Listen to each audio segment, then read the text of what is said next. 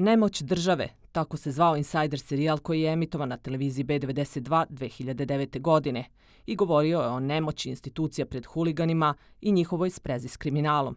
Posle toga Brankica Stanković postala je meta huligana. 13 godina kasnije Insider je postao televizija.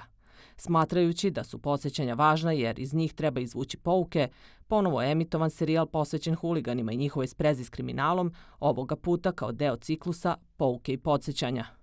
Ono što se dogodilo u subotu na košarkaškom meču ABA lige između Partizana i budućnosti pokazalo je da je vreme prošlo, ali da su neke stvari ostale nepromenjene. Huligani su Brankici Stanković ponovo skandirali poruke zastrašivanja.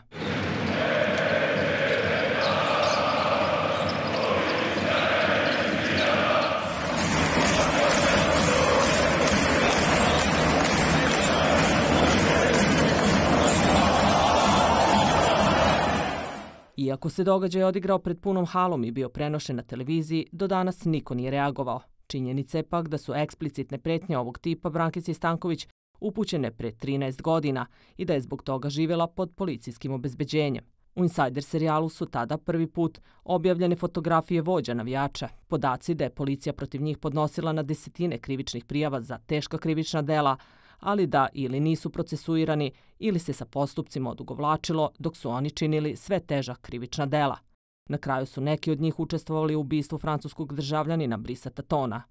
U periodu u kojem je serijal emitovan, novinarima redakcije Insider stizale su pretnje, a onda je usledilo iskandiranje sa tribina.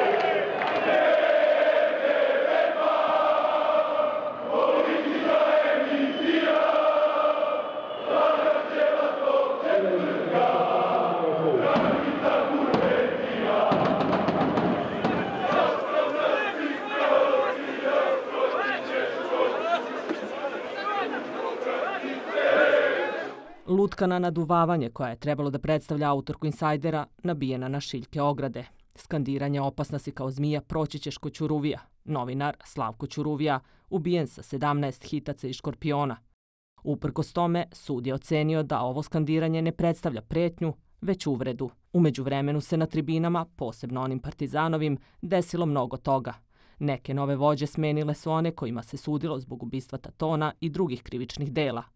Ispostavilo se da su osumnjičeni za još brutalnija krivična dela.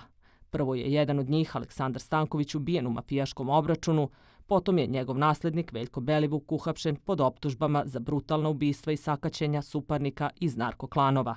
Stvorio se tako prostor da se neke stare vođe ponovo vrate na pozicije na tribinama.